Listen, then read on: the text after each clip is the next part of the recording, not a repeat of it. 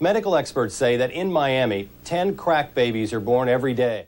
It was 1980 and crime rates were high, and so was my mother. Thank you guys for hanging out. You made me really happy, especially for someone who was born on drugs. Uh, nothing illicit or anything, just a little bit of crack. Uh, it's fine, it was an accident. Uh, my mother really wanted heroin at the time.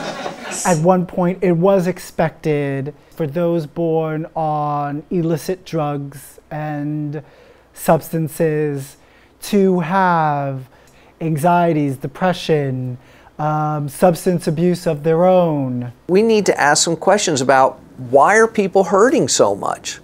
What is going on in their lives that makes the use of drugs so appealing that it takes over their lives in harmful ways? There were six of us, one of which was my twin sister, if you can believe that.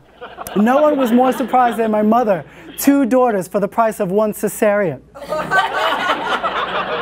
Here we are just trying to figure out what about my story is going to make sense to share with the world.